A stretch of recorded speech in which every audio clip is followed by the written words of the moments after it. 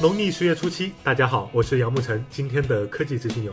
十一月二十六日，也就是下周四，华为将在上海世博中心召开新品发布会，Mate 八将隆重登场，而华为 Watch 也会在本场发布会上夫唱妇随。目前，华为 Watch 是小编觉得最帅的智能手表，没有之一。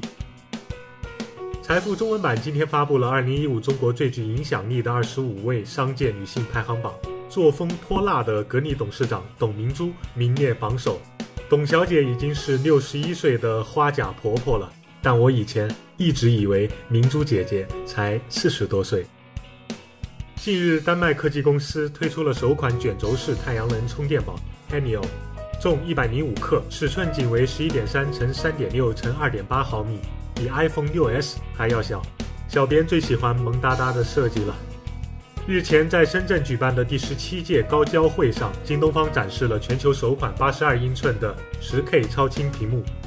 分辨率高达一万零二百四乘四千三百二，二十一比九的长宽比适用于高端显示领域。我只想问局座们，什么时候咱们的电视能普及七二零 P 啊？同样是在高交会上，国显科技的展台中竟然出现了印有锤子 logo 的指纹识别模块。